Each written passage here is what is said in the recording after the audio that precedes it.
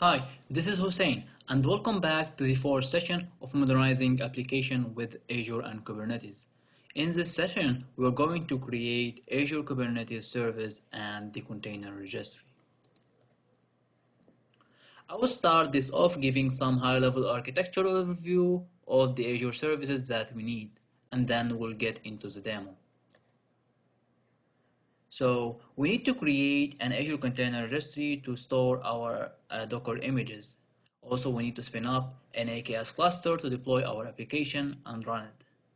AKS needs to pull images from the container registry. However, before this can happen, an authentication mechanism should be established between the two services. What we will do here is we will create an Azure Active Directory service principal. A service principal provides access to Azure resources within your subscription. Think of it as a user identity that AKS can use to authenticate itself against the Azure Container Registry so it can interact with it. So we will configure the service principal with the necessary right to access the ACR. In our situation, it will give it access to Azure Container Registry to pull the Docker images. Then AKS will use the service principal credentials to access the container registry. Now let's get into the demo. I have here Azure uh, portal opened. I'm gonna use the Azure Cloud Shell in order to deploy my application. First of all, you need to clone the repo. I've already cloned the repo, and if you see here, I have the K8 product store code inside my cloud drive.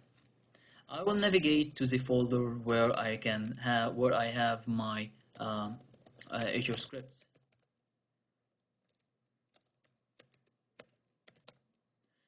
So I have Azure CL scripts inside this folder. I can see it now. I need to execute that file. I'm using bash for this purpose and then I will specify that file. So what's happening right now is it's, it's executing the Azure CLI scripts that I've created. This will take some time, so I will move back to the Visual Studio Code in order to explain what I'm doing right here. So inside the project application, you will see an Azure CLI scripts folder, and inside it you will have the bash file that contains all the CLI commands that you need. First of all, I'm creating the variables that I need to use in, all, in the next subsequent commands. So resource group, the ACR name, the AKS cluster name, the service principal name, and the location where I want to provision my resources. Then I'm creating the Azure uh, resource group specifying the resource group name and the region where it should exist. After that, I'm creating Azure Container ACR. I'm, I'm using Azure ACR, ACR create command with those parameters, the name I want for my registry, and not and not and, and you have to uh, consider that this should be globally unique. And then I'm specifying the resource group that I have just created in the previous command where the registry will be placed location as a locations that I have chosen previously for the resource group. And here we need to specify the service tier for your Azure Container Registry. The basic tier is fine for me. Like there are other service tier which kind gives you like some extra storage or replication or other capability, but for the purpose of application, the basic tier will be fine for us. In the next step, I'm getting the ACR, uh, uh, ACR IDs that I have created in the previous command. I'm storing it in the variable right uh, ACR registry ID. So as we said previously, services inside Azure need permission so they can talk with each other. In our case, the AKS cluster once provisioned need to pull images from the container itself. So here I'm starting to create the service principal and then I'm specifying the name of the service principal. And take into consideration that the service principal name need to start with HTTP and then I'm specifying the scopes. I'm passing here the, uh, the ACR ID which we've got previously from the previous statement. Then we specify the role of the service principal which defines the permissions that the service principal has on the resource itself we're actually also querying for the password because we need the password and the uh, application ID here in the next subsequent commands. So after I get the, uh, the service principal password, I'm asking for the principal application ID and storing it in this variable. Finally, once I have my service principal application ID and my application and service principal password, I start spinning up and provisioning my Azure Kubernetes cluster. I'm using AZ AKS create command specifying the cluster name, the resource group, and the region. Here I'm also specifying the count, uh, the, the count of the nodes in my cluster, uh, putting it as one. Uh, by default, uh, Kubernetes will spin up three nodes in your cluster. But uh, I need just one node, so that's why I'm specifying the count, uh, the count of the nodes. Also, by default, the cluster will use virtual machine scale set instead of individual virtual machines. So VM scale sets are required for scenarios including auto scaling and multiple node pools, which kind of more advanced that we don't need it here. So I'm, I'm setting the VM set type to availability sets.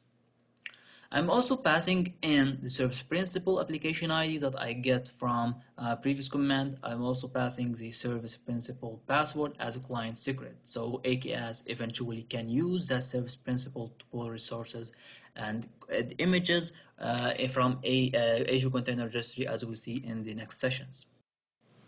So I went back to my Azure portal and as you can see here in uh, the Azure Cloud Shell, after executing each one of the Azure CLI commands, you kind of have an output that indicates if the operation was successful or uh, there is some failure. And as you see, uh, all my Azure CLI commands was uh, successful. So here we created the Azure Container Registry then the service principal and here you can find the output uh, for the AKS cluster.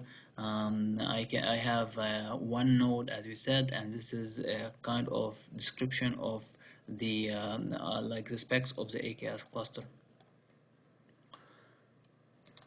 So let's see now uh, our resources. I am gonna navigate to product store resource groups that I have created and this is the uh, Kubernetes uh, cluster dashboard as you can see here the status is uh, fine we're good. And if I need to navigate to node pools you can see here the uh, node counts and the standard size that we have specified once we create this cluster. Let's go back to see the container registry. The container registry is here and everything is uh, fine. And we're ready to deploy our application. Uh, now I'm gonna show you how to create uh, those uh, two resources container registry and Kubernetes service from the portal. Uh, you have to click in the create resource, uh, go to containers and select container registry and then here in the basic uh, uh, in the basic tab you have to enter uh, the values like resource group you specify the resource group and uh, your registry name. Um, so the registry name um, should be unique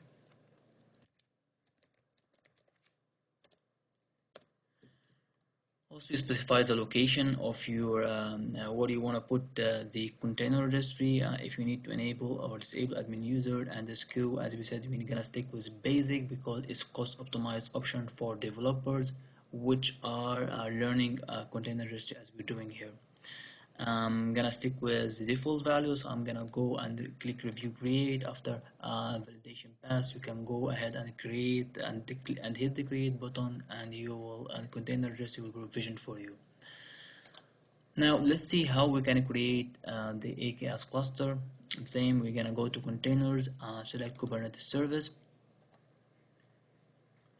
here in the first page, first page, the basic page, uh, there is a project details. You select the resource group and the cluster name. Then you specify the region, the Kubernetes version that you need to install in your uh, node and the, in your uh, Kubernetes master and Kubernetes nodes.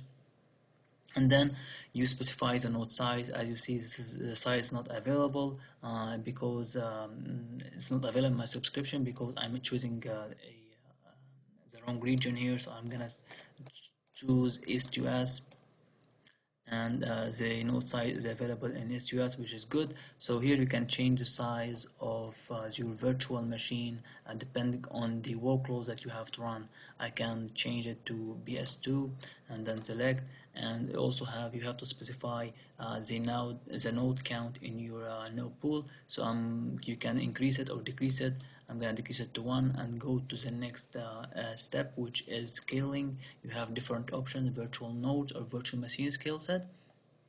I'm gonna stick with the default here and go to the authentication page where we, you can configure a service principal so if you leave uh, this as as the new default service principal a, a service principal will be created to you or you can choose uh, configure service principal to use an existing one. In this situation you have to provide service principal client ID and password.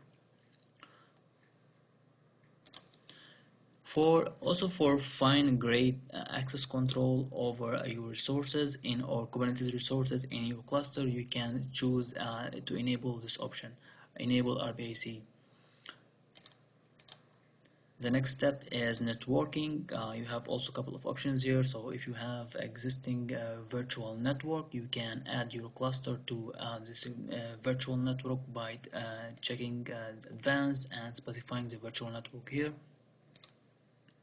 And then finally uh, monitoring which by default is enabled uh, uh, for Azure Kubernetes cluster let's keep it let's now choose no because in the next session we will see how we can enable Azure con container monitoring and talk about this more in depth.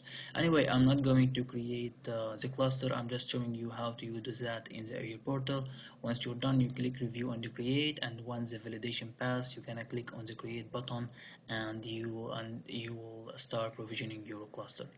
So uh, that was uh, all of it for uh, this session. See you on the next session where we will be talking about um, deploying your application into AKS.